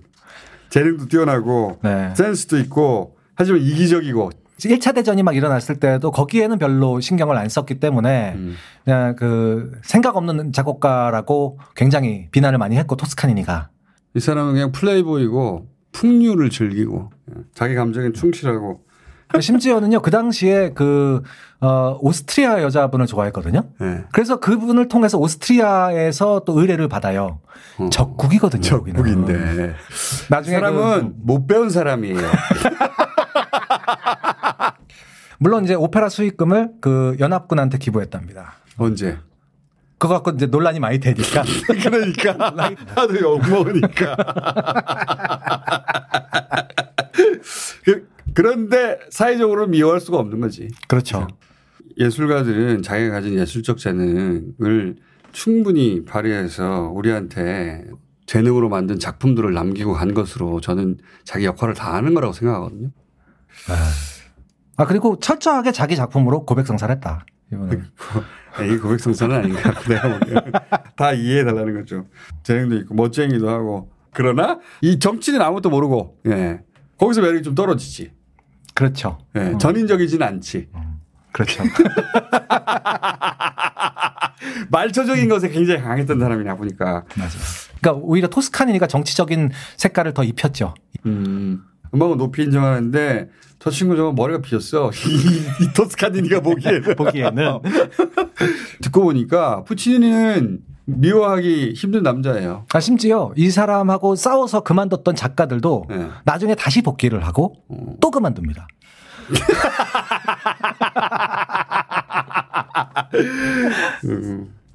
지 마음대로 살다가 잘, 잘 살다 갔네. 그렇죠. 예. 아, 잠깐만요. 얘기에 빠져가지고 내가 집에 보내질 못했어. 집에 보낼 거 한두 개는 건지고 끝내야 되는데. 네. 프리마돈나. 프리마돈나? 프리마돈나가 뭘까요? 프리마돈나. 프리마돈나는 오페라에서 여주인공. 여주인공을 얘기하죠. 네, 프리마돈나라고 하잖아요. 많은 분들이 잘못해서 프리마돈나라고 생각합니다. 아. 프리마돈나인데 아. 아, 진짜? 네. 프리마돈나 아니야? 프리마돈나. 자유로운 마돈나 아니야? 프리마돈나. 프리 프리마돈나. 이거 좋다, 이거 좋다. 일반적인 사람들은 실수를 안 해요. 그냥 프리마돈나라고 해버리니까. 그렇지. 아는 체 하려고 앞에 프리를 생략하는 거죠. 아, 그래서 마돈나 이래버리면 아, 오페라가 그냥 마돈나. 보통 나는 거죠. 아, 차라리 donna라고 해야 되는데. 차라리 donna라고 해야 donna라고 되는데. 해야 되는데. 음. prima가 문제예요. prima 첫 번째. 아, 첫 번째. 그래서 뭐 seconda donna 뭐 이런, 이런 것도 있어요. 아, 프리마 돈나 다음은 seconda seconda donna. 아. 네. primo uomo 그러면 첫 번째 남자 주연 남자를 얘기하고 그리고 또 오페라 보실 때 이제 중간중간에 멋진 노래 나오면 박수 치고 막 환호 보내시잖아요. 중간에 박수 치면 안 된다 이런 게 별로 없기 때문에 음. 그런데 그때 이제 브라보 막 이러시잖아요. 음. 여자분한테는 브라보 하면 안 됩니다. 여자분한테는 뭐예요? brava 합니다. brava. brava 막 이러잖아요. 야, 그건 진짜 묘해요 분위기 우리나라에서는. 브라 잘못 들리거든. 이 새끼 변태 아니야, 이 새끼. 아, 어, 오페라 알잖아. 그 여주인공. prima? donna prima, 아니야? donna. 응? prima 무슨 뜻인지 알아? 알 리가 없거든요. 그렇죠. 집에 갈래? 이게 왜 이렇게 많을 때는 한 번에 지를 수가 없어. 어? 네. 어. 두 번째는 seconda donna 아니야? donna 뭐냐? 모르지. 집에 갈래? 아 이거 프리마돈나 이거. 그리고 브라보가 아니라 brava. 여자분이 노래를 불렀으면 brava가 맞고요. brava. 어. 그것도 이제 여러 사람이 같이 노래 불렀으면 bravi. 이거 복수로 또 얘기를 해야 되는. 아이 복잡해요. bravi. bravi 막 이래야 되고. 브라 어. 브라보 브라바 브라바, 브라비. 브라비. 어. 아, 그리고 절대로 하시면 안 될 행동이 휘바람 부는 겁니다. 객석에서 휘바람이 나오면 야유예요. 굉장히 신뢰가 되는 겁니다. 어 오페라에서 네. 나는 재미 없었다라는 뜻이에요. 그러니까 어 이러면 안 됩니다. 오래 전부터. 오. 그러니까 오페라는 또 대부분 이탈리아 문화기 때문에 괜찮아. 어, 뭐 그렇죠. 그, 그 사람들이 나중에 통영한테 물어보겠지. 그렇죠. 예. 그럼 통영을 통해서 해결해요, 그냥. 아니, 총수님이 굉장히 좋아할 만한 게 하나 또 있어요. 이게. 서곡과 전주곡이 차이가 있습니다. 그게 그거 아니에요? 아니에요. 전주곡은 프렐루드라고 하고 서곡은 오버추어라고 하는데요. 예. 오페라 막이 오르기 전에 오케스트라가 쫙 먼저 연주를 하면 보통 서곡이에요. 예. 서고. 이게 이 서곡이 굉장히 짧잖아요. 모르지, 제가. 만약에 아니 굉장히 짧게 예를 들어서 서곡은요 보통 10분 정도 해요. 10분에 15분까지도 해요. 예. 근데 이게 한 3분 하고 막이 올라가 버린다. 어. 얜 전주곡이에요, 그러면. 길이도 따져요. 심지어 그런 곡들은 보통 잘 안 끝나고 막이 올라가 버려요. 오. 어떤 곡은 서곡 대신에 전주곡으로 시작할 때도 있어요. 서곡이라 하는 것은 네. 그곡 자체로 하나의 완성된 작품으로 보고 그렇죠. 딱 끝나고 나서 올라가는 것이고 맞아요. 전주곡이라는 것은 일종의 배경음악처럼 배경음악처럼 시작되기 직전에 네. 분위기 잡아주는 용도. 서곡이 딱 끝났는데 너무 짧다. 그러면 전주곡인가? 이래 버리면 굉장히 이거는 프로 중에 프로예요. 만약에 한 3분 했다. 연주하고 있는데 올라갔다 막이. 네. 그러면 전주곡을 뭐라고요? prelude, 서곡 뭐라고? 오버추어. 그렇죠. 어, 어. 서곡 전주곡 이렇게 하면 안 돼요. 몇. 달을 하셨는데 아직 prelude. 그러니까 요런 거는 동시에 써먹어야 되는 거거든요. 이렇게 음. 3분 만에 올라갔다. 음. 그러면 아주 조용히 얘기해야 돼요. 아, 그렇지. 오버추인 줄 알았더니? 아, 어, 막- 아무 일 없다는 지 나는 여기까지는 써먹을 수 있는데 곧 잘 거야. 자다가 여자분이 노래 부르면 브라바 해버리면 됩니다.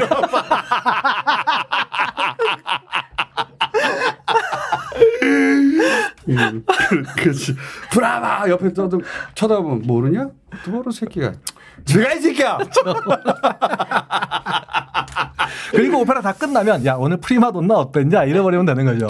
알지? 프리마돈나로 하면 안 돼. donna 뭐냐면 seconda donna 어떠냐 오늘? 응? 세콘다 돈나. 응? 테러 처음 들은 소리일 거거든. 그렇죠. 아나콘단 들어봤을 거야. 프리마 돈나 말고 seconda donna를 외워야 되겠다. seconda donna. 아 그렇죠. 음. 야 오늘 야 seconda donna 어땠냐? 모르는 새끼야. 브라바! 오늘 여기까지 하겠습니다. 감사합니다. 네 고맙습니다.